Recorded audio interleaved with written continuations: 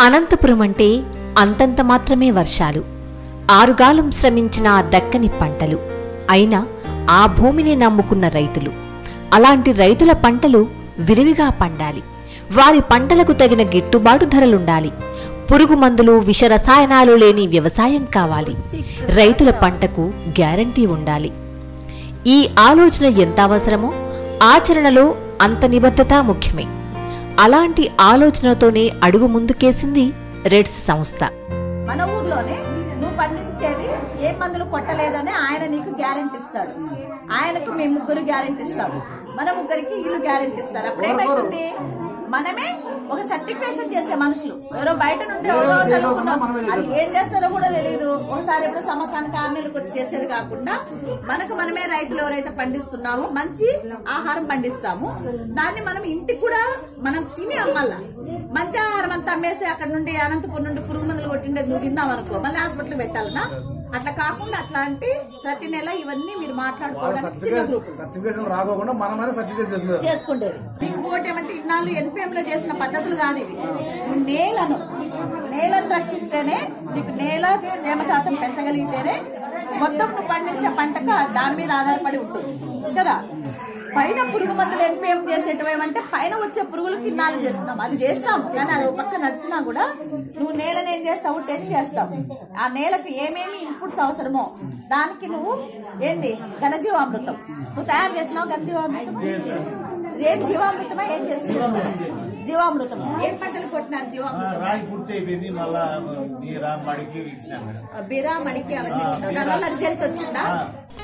అనంతపురం జిల్లా ఆత్మకూరు మండలం తలుపురు గ్రామంలో రెడ్స్ సంస్థ అనేక కార్యక్రమాలు నిర్వహిస్తోంది. అందులో భాగంగానే గత ఐదు సంవత్సరాలుగా వ్యవసాయ రంగం పైన కూడా దృష్టి సారించింది. బాంజా మేడం గారు సుస్థిర వ్యవసాయం గురించి వివరిస్తున్నారు.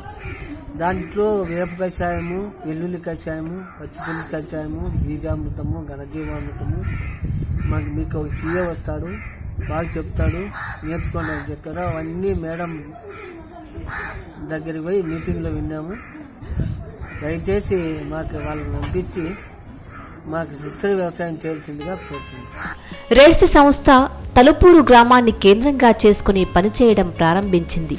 ఈ గ్రామంలో మొత్తం ఒక వెయ్యి ఐదు కుటుంబాలుంటే అందులో తొమ్మిది వందల ఒక కుటుంబాలు వ్యవసాయంపైనే ఆధారపడి జీవిస్తున్నాయి. గ్రామం మొత్తం జనాభా నాలుగు వేల రెండు వందల తొంభై రెండు కాగా అందులో పురుషులు రెండు వేల రెండు వందల ఎనిమిది మంది. స్త్రీలు రెండు వేల ఎనభై నాలుగు. ఇక్కడి మహిళలంతా ఇతర ఉపాధి మార్గాల కోసం ఆలోచించకుండా అత్యధికంగా వ్యవసాయ రంగంలోనే ఉన్నారు. అందుకే ఇలాంటి మహిళలను ఒక్కచోట చేర్చేందుకు ప్రయత్నాలు మొదలుపెట్టి పెట్టుబడి లేని వ్యవసాయం దిశగా వీరికి క్రమంగా శిక్షణ ఇచ్చి అనతి కాలంలోనే మంచి ఫలితాలు సాధించింది ఈ సంస్థ. వ్యవసాయంపైనే ఆధారపడిన మెజార్టీ రైతులను పెట్టుబడి లేని ప్రకృతి వ్యవసాయం వైపు మళ్ళించేందుకు అనేక ప్రయత్నాలు ప్రయోగాలు అవసరం. వాటి ఫలితాలు సాధారణ రైతులకు అర్థమయ్యేలా చెప్పడం అన్నింటికన్నా అవసరం. అందుకోసం క్షేత్రస్థాయిలోని మహిళల్ని ఎంపిక చేసుకోవడం ఈ సంస్థ చేసిన ప్రత్యేక కృషి. మేడం మేడం ఇట్లా ఒంటి మహిళలు ఎన్ని జనం ఉన్నారు సర్వే చేయమన్నారు మేడం ఫస్ట్. అందరం సర్వే చేసినాము. నూట డెబ్బై మంది ఏమో ఉండరు మేడం మా ఊళ్ళో అందరు సర్వే చేసిన తర్వాత ఇట్లా మన ఒంటి మహిళలు రైతు రైతు వాళ్ళు కానీ ఇట్లా సద్బత్తం కట్టమంటున్నారు మేడం వాళ్ళు. మనం సభ్యత్వం కట్టుకున్నాం అంతా గ్రూప్గా ఉంటే మళ్ళీ ఏమన్నా అవకాశం వస్తే చెప్తుంది మేడం. అంటే ఒంటరి మహిళలకే సపరేట్ పని కానీ పెట్టిస్తాను కలిగిస్తానండి మేడం. ఎక్కడన్నా తోట చీర తీసుకొని పని పెడతాను మీకు ఏదైనా సాయం చేస్తాను. అందరూ కలిసి బాగున్నానమ్మా మీకు ఏమైనా అవసరం అంటే మేము మాట్లాడతాము. ఏదన్నా కానీ మీకు కాబట్టి ఇస్తామని కూడా చెప్పింది మేడము. అంటే వీళ్ళంతా కలిసి చెప్పినా కానీ వస్తారు మేడం అట్లేమో. వాళ్ళు డబ్బులు ఇస్తారు అవి ఇస్తారు అనుకోరు వస్తారు వాళ్ళేమో. వాళ్ళంతా రమ్మంటే పోదాం లేండక్క నా- వాళ్ళే నా చుట్టూ తిస్తారు పోదాం పోకర్రీ ఎప్పుడు ఎప్పుడు అని అడుగుతారు. పొద్దున కూడా అడిగినారు. మేడం వాళ్ళు వస్తారంటే ఎక్కడ ఉంటారంట అని అడిగినారు. అంటే సర్లే మళ్ళీ చెప్తాను మేడం వాళ్ళు వచ్చినాక అన్నీ వాళ్ళేమో అట్లా ఏడు రమ్మన్నా కూడా వస్తారు. వాళ్ళకు కూడా ఏమన్నా ఇవ్వాలి కదా మేడం ఊరికే అంటే ఇబ్బంది కదా. తలుపూరు గ్రామంలో ఉన్న నేల రకాన్ని అర్థం చేసుకొని అందుబాటులో ఉన్న నీటి సౌకర్యాన్ని అంచనా వేసుకొని రైతులకున్న అనుభవాలు దృష్టిలో పెట్టుకొని పెట్టుబడి లేని ప్రకృతి వ్యవసాయంపై శిక్షణ ఇచ్చారు. ఆత్మకూరు మండలంలో తలుపూరు వడ్డుపల్లి వేపచెర్ల గురిదిండ్ల గ్రామాల్లోని మహిళా రైతులను గుర్తించి వారిని రైతు సహకార సంఘంగా ఏర్పాటు చేసి ఆత్మకూరు మండల మహిళా రైతుల ఉత్పత్తిదారుల సహకార సంఘం పేరుతో రిజిస్ట్రేషన్ కూడా చేయించారు. ప్రస్తుతం తలుపూరు గ్రామంలోని ఈ రైతులంతా రసాయన ఎరువులు వాడకుండా ప్రకృతి సేద్యం చేస్తున్నారు. అయితే పండించిన పంటను మొత్తం అమ్మేయడం కాకుండా చిరుధాన్యాల వాడకంపై కూడా అవగాహన కల్పించారు. అంతేకాకుండా పండించిన పంటలకు మార్కెటింగ్ కల్పించాలనే ఉద్దేశంతో ఎఫ్ఈఓ ద్వారా కొనుగోలు కేంద్రం ప్రారంభించి రైతులు పండించిన పంటలకు గిట్టుబాటు ధరలు వచ్చేలా గత సంవత్సరంలో పండించిన రెండు వేల నాలుగు క్వింటాల కొర్రలు యాభై రెండు క్వింటాల కంది ఏపీ మార్క్ఫెడ్ వారితో అనుసంధానం చేయించి అమ్మడం జరిగింది.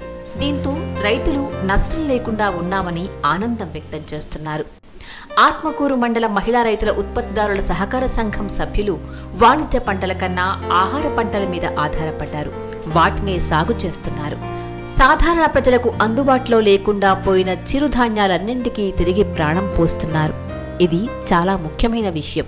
ఈ సహకార సంఘం సభ్యులను ప్రత్యేకంగా అభినందించాల్సిన అంశం. ఆత్మకూరు మండల మహిళా రైతుల ఉత్పత్తిదారుల సహకార సంఘంలోని మెజార్టీ సభ్యులు ఒంటరి మహిళలే.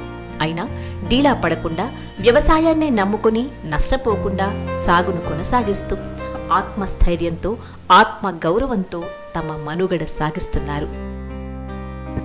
అనంతపురం జిల్లా ఆత్మకూరు మండలం తలుపూరు గ్రామ మహిళలు ఒక కొత్త బంధాకి మార్గదర్శకులుగా ఉన్నారు. వ్యవసాయం ఒక వృత్తి కాదు ఒక జీవన విధానమని మరోసారి నిరూపిస్తున్నారు. పెట్టుబడి లేని ప్రకృతి వ్యవసాయానికి కేర్ ఆఫ్ అడ్రస్గా నిలుస్తున్నారు.